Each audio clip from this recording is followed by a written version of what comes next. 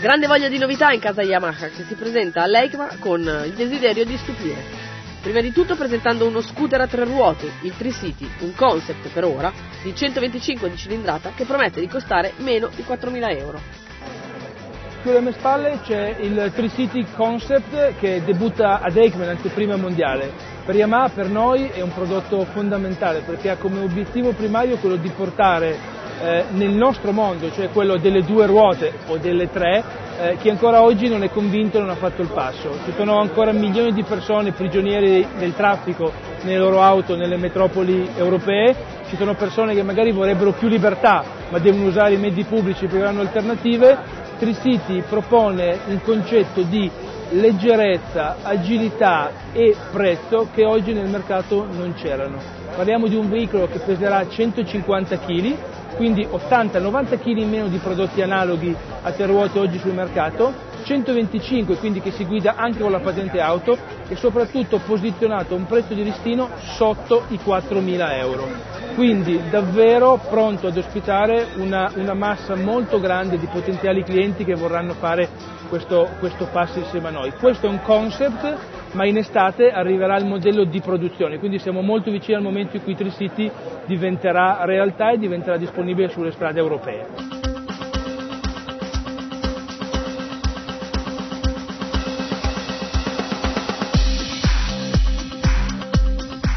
Novità anche nel mondo scooter con il bestseller T-Max e l'X-Max.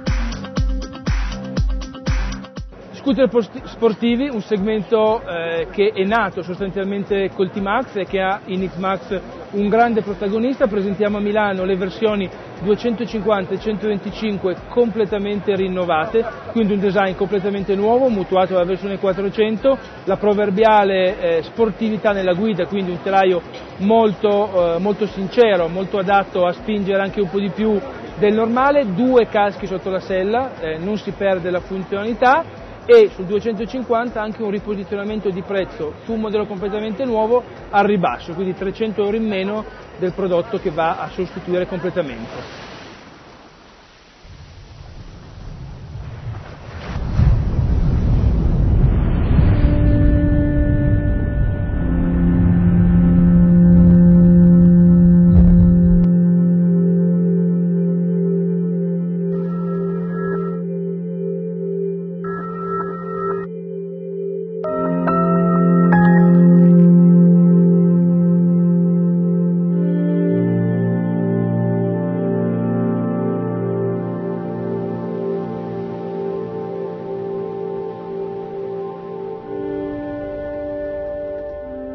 E infine il mondo cruiser, ottima base per creare personalissime interpretazioni.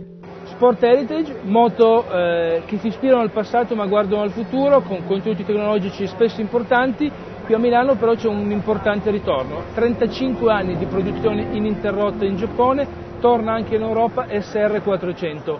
La moto che ha ispirato tantissimi customizzatori nel mondo oggi è di nuovo disponibile a 5.990 euro con l'iniezione elettronica, quindi assolutamente conforme alle normative Euro 3 e ancora si presta come base ideale per la customizzazione. Ci sono qui alcuni esempi, la cosa importante, tutte queste customizzazioni che riuniamo sotto il marchio Yard Build daranno vita a kit che i customizzatori stessi metteranno a disposizione dei clienti per poter replicare le moto da sogno che si trovano qui esposte ad EGMA. Vale questo discorso anche per XJR, appena proposta da Deus nella versione Project X, che ad EGMA ha anche la versione ispirata all'Endurance anni 70,